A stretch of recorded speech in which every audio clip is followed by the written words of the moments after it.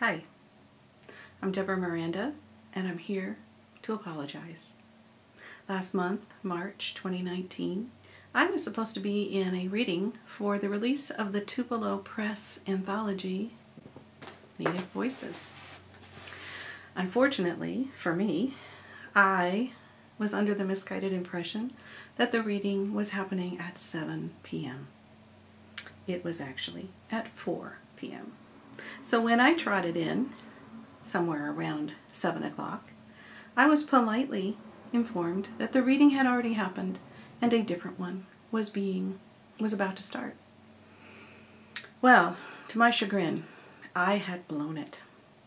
So I am here to keep my promise to help release this anthology in the only way I can. Coming to you from my study here in Lexington, Virginia. I thought I would give you a little background on the anthology first. One of the things that made me feel that this was a little different anthology was that the editors asked us to think of an author or a poem that had really had some impact on our own writing. And I immediately thought of Wendy Rose's poem, Excavation at Santa Barbara Mission. That poem came to me, came into my life when I was not a young person, but definitely a young poet. When I was still figuring out how poetry, what the work of poetry was in my life. I felt the deep desire to write, but I did not quite know where that desire would take me.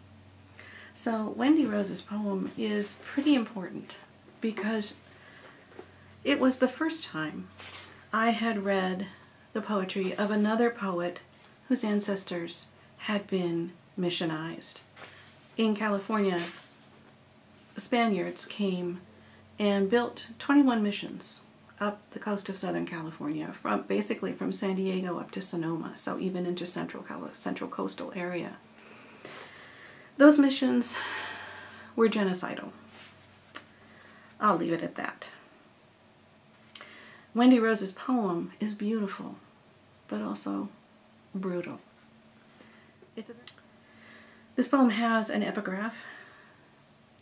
Wendy Rose writes, When archaeologists excavated Santa Barbara Mission in California, they discovered human bones in the adobe walls.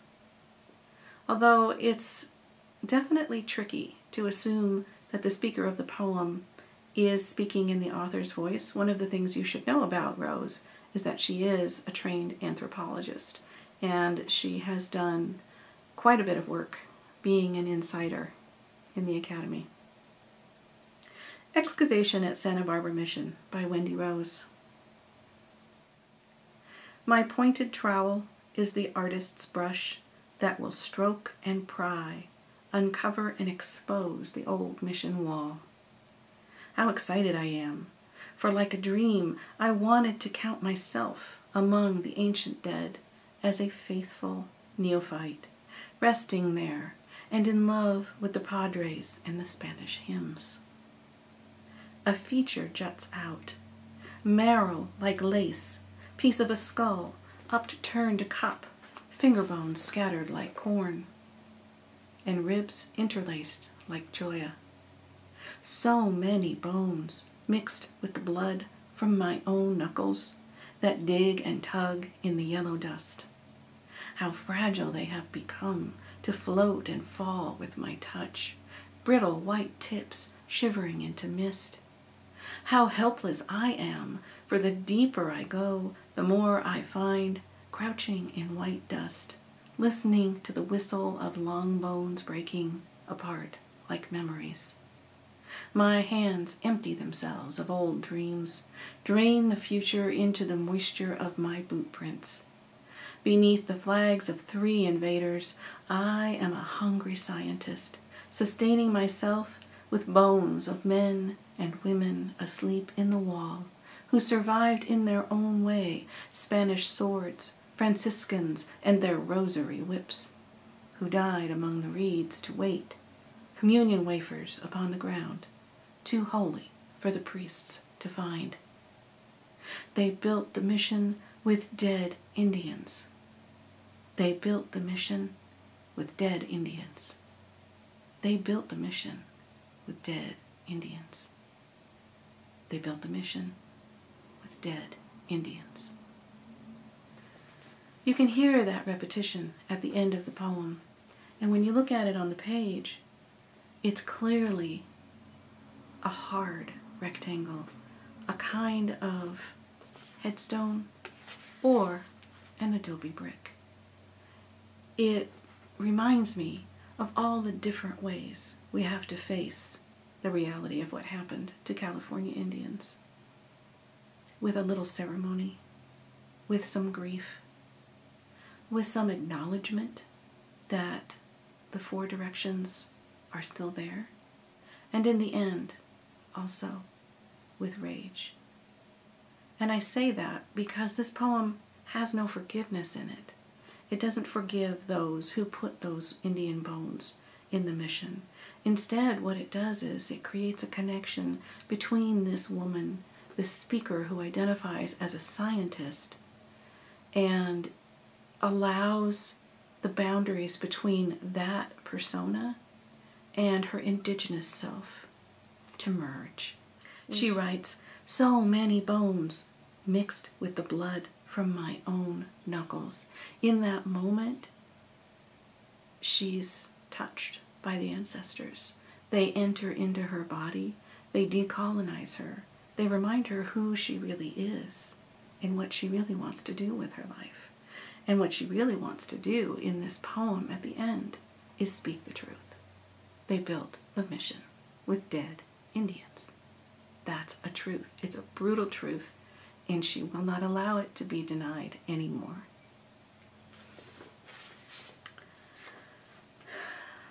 So then I had to think about poems I'd written where I could feel that influence from Wendy Rose, that desire to that desire to feel the ancestors in my blood, that desire to speak brutal truths about California's mission era, which, to be honest, California does not want me to speak. Here's a poem called Juliana, 1803. You should know that the word monjerillo in this poem is a Spanish word. Technically, it means the nunnery, but in the California missions, it was the word used for what was called the women's quarters. All young girls between seven and eight and adult and adulthood, any un, unmarried female, went into the monjerillo at night, and the door behind them was locked by the priests. This came about because the Spanish were horrified by the fact that indigenous men and women decided their own partnerships, including a large population of what we might call now a third gender or a two spirited person. But men and women married and separated uh, were pretty much as they pleased. Um, children were always cared for, and that was the main thing. This idea of an autonomous sexuality was horrifying to the Spaniards. So they locked up the women to protect them from Indian men, of course, which only made them more vulnerable to priests and soldiers. That's where this poem takes place, in the Monjerillo, and the speaker is Juliana in the year 1803.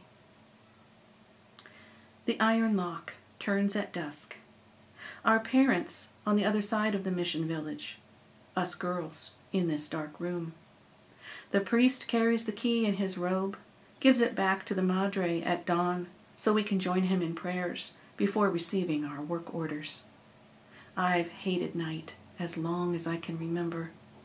When the padre came to our hut, told my mother I was seven years old now, old enough to require the monjerillo, she told me, Remember the stars. Remember you'll see them again someday.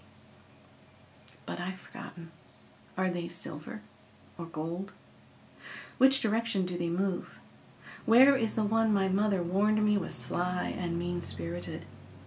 She told me once that blazing stars with long tails were souls on their way to the afterlife.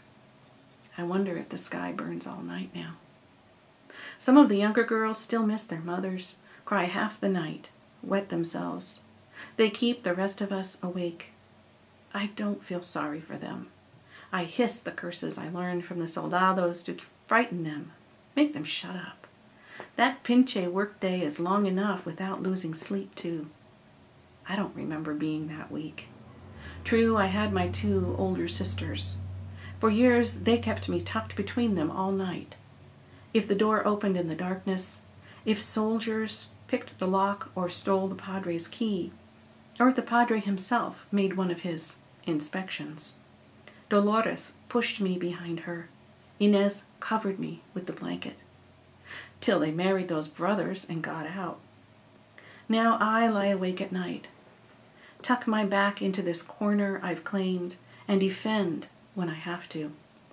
Smelling some poor woman's shit as she crouches over the trench in the corner, moaning that the pozole this morning must have had rotten meat. My own bowels twist and boil, but please, God, let me make it till morning, and the privacy of a bush or a hillside. And I think about that soldier, Demetrio, the one who came with the San Blas infantry from some place called Mexico. The Spanish guards laugh at him, call him chulo, which means, I think, half breed. They ask him which jail the military pulled him out of. What crime did he commit? And has he learned how to shoot an escopeta? They make him sound like a little boy. I know he's not. Yesterday, on the path returning from the lavanderia, I hung back, pretended my basket of wet clothes was too heavy. He slipped me a string of dark red beads, my favorite, and said he would speak to the padre soon. Then he pressed against me, knocked my basket into the dirt, spilled all that hard work. He put his hairy mouth on mine. I couldn't move. Clara called my name and he pushed me away, ducked back into the trees. Tonight, I can still feel his hands clutching my breasts. I wonder, I wonder what it would be like to see the stars again.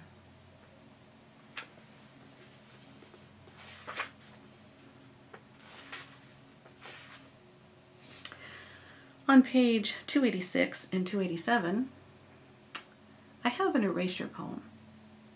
The original document is a letter written by Junipero Serra, who was the priest who founded the California missions. Unfortunately, there was a mistake in the editing process, and the gray shading that shows you how I created the erasure poem was didn't make it onto the page. So what you see on page 286 is the whole letter from Serra. And on page 287 is my erasure poem made out of that letter. This mistake will be corrected in future editions of the book. So I encourage you to create your own erasure poem out of Serra's document. It's kind of, what's the word I'm looking for? subversive, naughty, bad, but an awful lot of fun. The poem that I created from Serra's letter is called A Poem. And I intentionally pulled from Serra's letter the voice of an Indian person. Because there is no written documentation by California Indians from the mission era. Those voices are missing in the archive. Or are they? I enjoyed doing this erasure poem and pulling the voice of an Indian person from behind the scenes, between the lines, under the words of Junipero Serra. A poem we here are composed of earth, valley, and rivulets, vines loaded with grapes, and abundance of roses. We Indians on this coast carry on very civil, old and young, decent on our journey. We treat with confidence and goodwill all lives, always care for the whole multitude, a kind of wild God. Song of E Ur. Ur is one of the Kumeyaay words for Juniperus californicus, or a juniper bush. One last poem The Tears of the Sun. Tears of the Sun um, has an epigraph that unfortunately didn't make it into the book, but the epigraph is from a um, historical document which in which um, a woman from the Santa Barbara Mission who was unnamed almost started a revolution. She had a vision in which she was told that if she baptized the people with the tears of the sun, it would reverse or undo the mission the missionaries' baptisms and give the Indians back their souls. Tears of the Sun. The river is full of mica. When we swim, our bodies shimmer, wrapped in constellations of stars. Our forearms swirl and sparkle like the Milky Way. Legs glint with galaxies. Our hands glitter gold as if dipped in stardust. In July's white hot sun, sparks of the cosmos bathe us with the dust of all that has come before us. See how we are embers waiting to blaze and ignite.